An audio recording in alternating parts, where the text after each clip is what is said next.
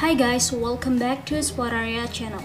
So today in this video, I'm gonna show you how to change device name in Infinix Hot 12 Play. But before you continue this video, as always, I hope you like, comment, and subscribe to support this channel. And don't forget to hit the notifications bell. So without any further ado, let's get started. Well guys, first thing first that you have to do here, you just have to go ahead to the settings, like that. After that in the settings page, you just have to go to this option, my phone option. I'm gonna open it. Now as you can see here, my device name is Infinix Hot 12 Play. Just tap on it.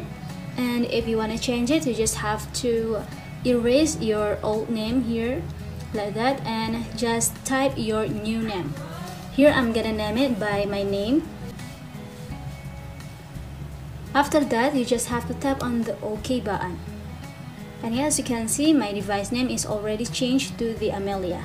So I think it's enough guys. Thanks for watching this video. I hope this video will help you.